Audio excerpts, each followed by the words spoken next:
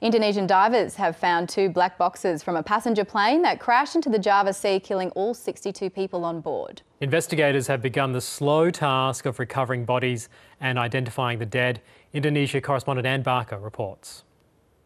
Navy ships and police boats continued to search the Java Sea a full day after Sriwijaya Air Flight 182 plunged into the ocean. Search teams have brought tons of debris back to shore, including luggage, clothing, pieces of wreckage, and body parts.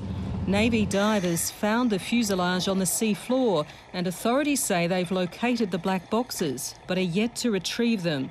It's still unclear what caused the crash. The Boeing 737-500 disappeared just minutes after taking off in heavy weather from Jakarta for Pontianak in West Kalimantan. Along with the 12 crew, there were 50 passengers on board, including seven children and three babies. Victims' families have been asked to give DNA samples to help identify bodies from the wreckage. We are coordinating with Sriwijaya Air to provide us with all the passenger details, including seat numbers and also CCTV footage of the passengers when they were boarding.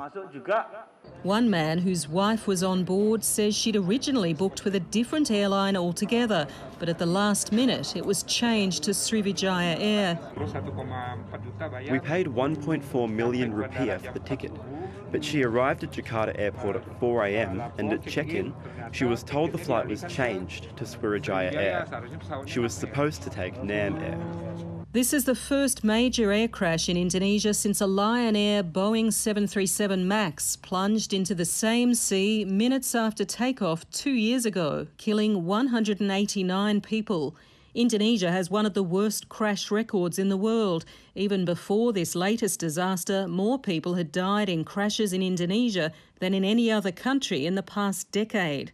With a long and grim task ahead to recover bodies and wreckage, it could be days, if not weeks, before investigators know what caused the jet's catastrophic descent. Anne Barker, ABC News.